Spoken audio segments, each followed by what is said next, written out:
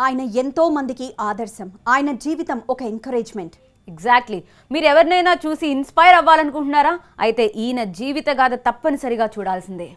జాతీయ అంతర్జాతీయ స్థాయిలో వైద్య రంగానికి అనేక సేవలందించిన పద్మశ్రీ కాకర్ల సుబ్బారావు తుది శ్వాస విడిచారు.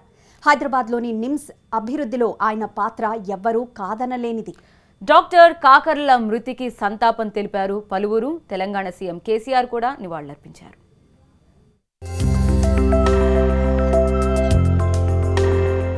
ఆంధ్రప్రదేశ్లోని ఓ పల్లెటూరు నుంచి అమెరికా వెళ్ళి అక్కడ ప్రముఖ వైద్యుడిగా గుర్తింపు పొందడం అనే కీర్తి సాధించిన తొలితరం వైద్యుల్లో the first one doctor Kakarla Subbarao.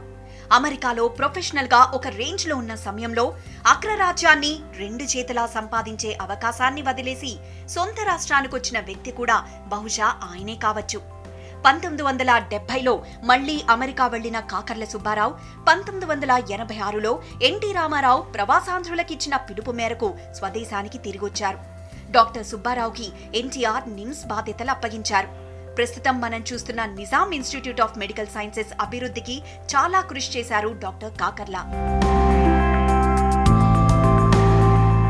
అనారోగ్యంతో బాధపడుతున్న కాకర్ల సుబ్బారావు నెల రోజుల క్రితం కిమ్స్ ఆసుపత్రిలో చేరారు. ఇవాళ కన్నుమూశారు.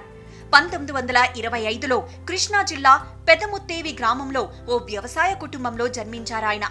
చల్లపల్లిలో స్కూల్ ఎడ్యుకేషన్ మచిలీపట్నంలో కాలేజీ చదువు పూర్తయిన తర్వాత విశాఖ ఆంధ్ర వైద్య కళాశాల నుంచి మెడిసిన్లో చేరారు. అక్కడే డాక్టర్ పట్టా తీసుకున్నారు. పంతొమ్మిది వందల యాభై ఒకటిలో హౌస్ సర్జన్ చేసిన తర్వాత మెడిసిన్లో ఉన్నత విద్య కోసం స్పెషల్ స్కాలర్షిప్తో అమెరికా వెళ్ళారు. న్యూయార్క్ బాల్టిమోర్ నగరాల్లోని ఆసుపత్రుల్లో పనిచేశారు. పంతొమ్మిది వందల యాభై ఆరులో స్వదేశానికి తిరిగొచ్చి హైదరాబాద్లో ఉస్మానియా మెడికల్ కాలేజ్లో అసిస్టెంట్ ప్రొఫెసర్గా చేరారు.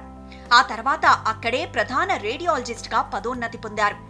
యునైటెడ్ కింగ్డమ్ వారి fellow of Royal College of radiologist పట్టా పొందారు. ఆ తర్వాత అమెరికాలోని అనేక ఆసుపత్రుల్లో పనిచేశారు. తానాను స్థాపించి అధ్యక్ష బాధ్యతలు నిర్వహించారు.